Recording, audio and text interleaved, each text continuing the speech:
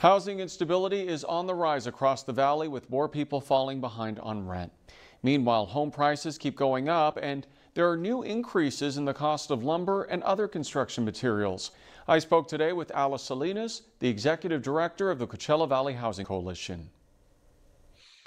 Alice, first off, what have you heard from people who depend on your organization for help and how has the pandemic impacted the services you provide them? Well, the pan- the pandemic has greatly impacted um, the folks that we serve, which include um, low-income farm workers and low-income families and formerly homeless individuals. Um, the biggest impact has been people's ability to pay rent. So what we've been doing is partnering with Wells Fargo Bank, uh, the NeighborWorks America Network, Lift to Rise, and the County of Riverside to help provide rental assistance to people who have fallen behind in rent. We've distributed approximately $400,000 to our residents across 42 properties in the Coachella Valley to ensure that people are not falling behind in rent. So we've been very fortunate to have these partners to assist us to provide us the financial resources to keep people housed. The other impact uh, that the that the that the uh, COVID nineteen has had on us is that people are in dire need of food, um, and we have been able to raise funds from the California Wellness Foundation to allow us to partner with the Find Food Bank to provide food to our residents. So there's a great need for food. The other need that we we are experiencing that we must address is the need for mental health services. So people are feeling very isolated. People are having mental health issues. So we are currently working with um, Borrego Health on various health initiatives, and we would like to include a mental health component into our social service programming. On, on an aside, um, on the construction end, we are an affordable housing developer and we have a massive pipeline of affordable housing projects.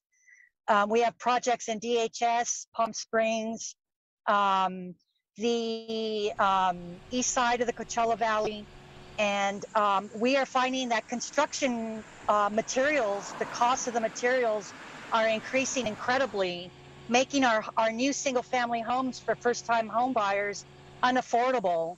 So incomes are not going up, is what we're experiencing, with construction costs increasing it's making housing incredibly unaffordable.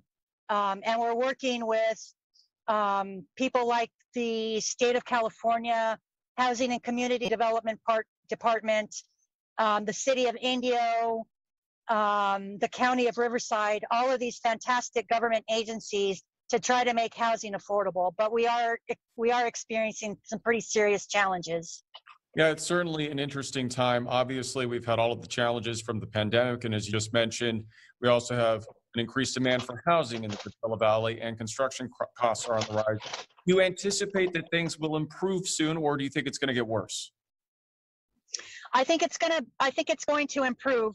Um, I definitely see light at the end of the tunnel with uh, President Biden's infrastructure plan we have a serious challenge in the east side of the Coachella Valley where many of our farm workers live, and there's no water.